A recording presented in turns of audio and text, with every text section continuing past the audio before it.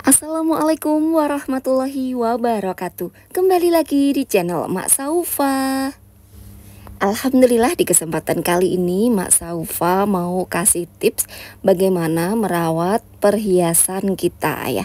Jadi kemarin-kemarin kan kita uh, Mak Saufa udah mengajak bunda-bunda semua buat nabung emas yang kadarnya itu ada yang rendah, ada yang tinggi seperti itu ya.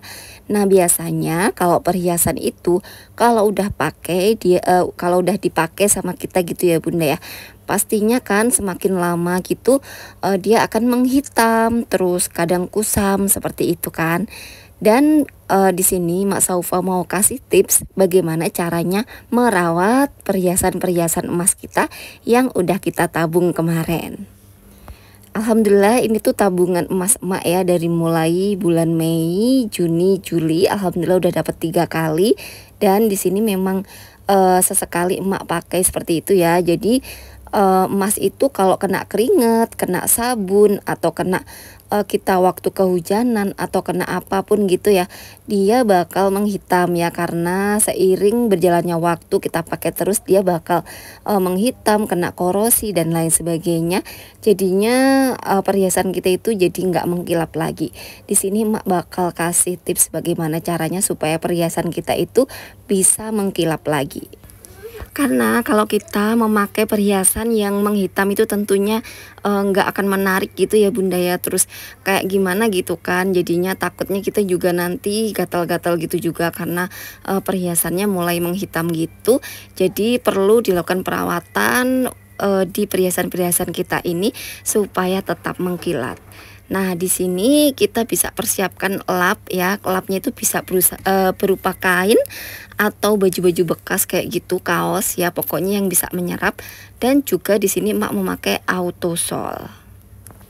Autosol itu apa Mak? Ya autosol itu sepe, e, semacam cairan ya pasta gitu dan dia itu bisa mengkilapkan logam.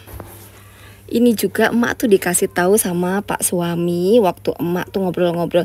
Ya ini kok uh, perhiasan tuh kok ini ya menghitam. Ini caranya biar uh, ngebersihin tuh bagaimana tuh sama pak suami diambilin autosol dari uh, perbengkelannya gitu ya. Karena biasanya kan kalau bapak-bapak itu kan suka ngebersihin mobil atau motor kayak gitu supaya mengkilatkan logam-logam kayak gitu. Terus mak tanya nih kalau untuk emas emang bisa ya? Kayak pokoknya kalau semua logam itu bisa pakai autosol.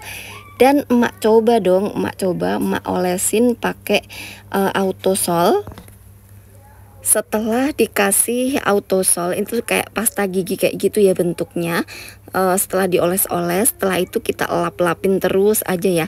Semakin sering kita ngelap maka perhiasan kita akan semakin mengkilap. Nah uh, perhiasan kita insya Allah akan bisa mengkilap lagi bisa seperti baru lagi Nah autosol tuh bentuknya kayak gini ya bunda-bunda ya. Kita ada kok di Indomart atau di mana pun tuh ada. Kita bisa cari harganya juga terjangkau 10 ribuan.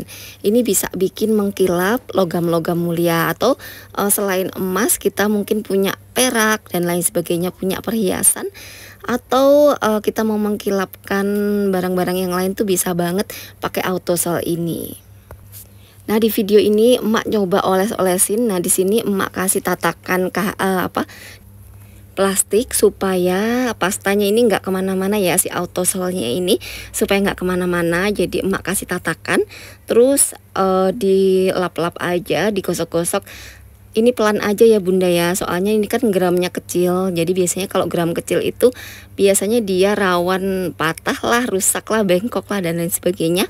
Makanya itu hati-hati aja Nah, jadi bunda-bunda semua, uh, kita kan kemarin udah belajar berhemat, belajar nabung, terus belajar uh, apa ya, challenge emas 1 gram sebulan. Dan setelah itu uh, kita juga perlu merawat perhiasan-perhiasan kita itu supaya tetap bagus, tetap mengkilat dan supaya nggak cepat rusak gitu ya. Jadi uh, kita juga memakainya itu seperlunya aja. Kalau kita memang lagi pengen pakai ya pakai. Terus kalau kira-kira kita mau melakukan pekerjaan berat kayak ngangkat-ngangkat atau apa gitu mending dilepas dulu aja. Karena itu bisa ngebahayain gitu ya. Kayak gelang gitu bisa nyangkut lah atau uh, gelangnya nanti bisa penyok bisa patah dan lain sebagainya.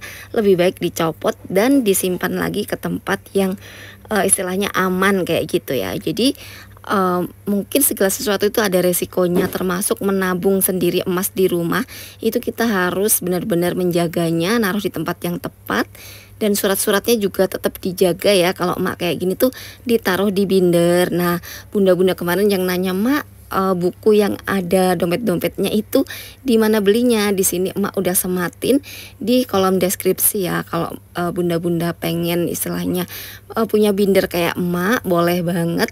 Uh, kayak gini emang uh, bisa buat nyimpen perhiasan kita ya tabungan-tabungan kita seperti itu. Buat budgeting juga bisa buat naruh-naruh uang juga bisa seperti itu.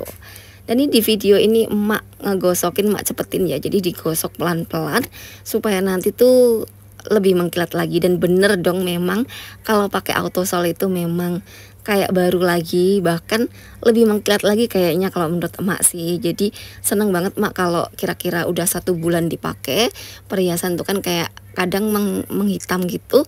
Dikasih auto sol auto kinclong lagi alhamdulillah. Sebenarnya ada banyak sih uh, untuk mengkilapkan perhiasan tuh ada banyak. Cuma uh, alhamdulillah untuk emak sendiri sih yang baru nyobain sih pakai autosol ini dan berhasil ya jadi mengkilap banget. Coba tanyain deh bapak-bapaknya, pasti punya deh. Kayak untuk mengkilapkan logam gitu ya biasanya ada untuk bapak-bapak yang suka bersih-bersihin motor gitu pasti mereka punya ya kadang kan bapak-bapak tuh kalau habis ngebersihin motor gitu kan suka dilap-lap terus motornya kayak kinclong lagi gitu biasanya dikasih oles-oles apa gitu ya untuk meng mengkilapkan logam jadi kita bisa pakai itu ya. Kalau emak sendiri uh, adanya merek Autosol dan ini tuh juga berhasil bikin mengkilap lagi. Bunda-bunda bisa coba di rumah ya yang punya perhiasan, yang mulai nabung ya, bisa uh, memakai Autosol ini. Nah, bunda-bunda semua jadi biar makin semangat lagi ya untuk menabung perhiasannya, nggak perlu takut uh, nggak perlu takut kita beli perhiasan yang kadarnya rendah ya, yang terjangkau karena kita udah tahu caranya buat mengkilapkan. Nah, di sini Mak juga mau kasih kayak uh, ini ya buat bunda-bunda yang uh, kebetulan apa ya maksudnya kita punya perhiasan tuh yang kecil gitu ya lebih baik itu penjagaannya lebih gitu. Kayak emak nih punya gelang nih 2 gram. Jadi emak tuh lebih waspada kalau makainya ya daripada yang uh, istilahnya 3 gram. Maksudnya itu tuh dia itu kan uh, lebih kecil ya dan lebih rentan untuk patah rentan untuk rusak rentan untuk uh, istilahnya lepas kayak gitu nanti kalau dijual dia bakal potongannya banyak banget.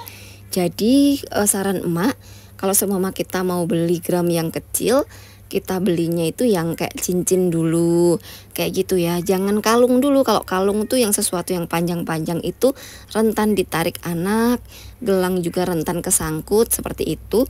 Lebih baik belinya nanti kalau udah terkumpul gede jadi nggak gampang patah dan dia juga lebih kuat, lebih awet.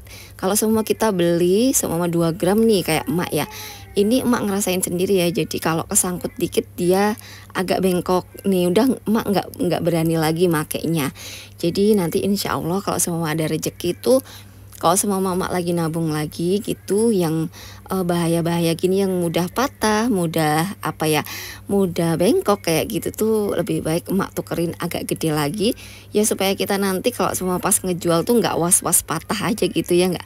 Kalau semua kita uh, pas ngejual terus ekspektasi kita udah wah nanti kejual sekian, eh ternyata potongannya lumayan kan jadi kita uh, kayak ngerasa rugi gitu kan. Udah patahnya nggak bisa dipakai lagi dijualnya pun rendah seperti itu potongannya lebih banyak jadi itu tadi ya saran emak untuk menjaga surat perhiasan kita uh, supaya kita benar-benar untuk menabung kita itu benar-benar nanti ada hasilnya. Dan demikianlah vlog emak kali ini semoga bisa menginspirasi bunda-bunda semua dan juga bisa bermanfaat. Mohon maaf apabila Mak Saufa ada salah-salah kata. Sekali lagi terima kasih dan wassalamualaikum warahmatullahi wabarakatuh. Tunggu vlog Mak berikutnya.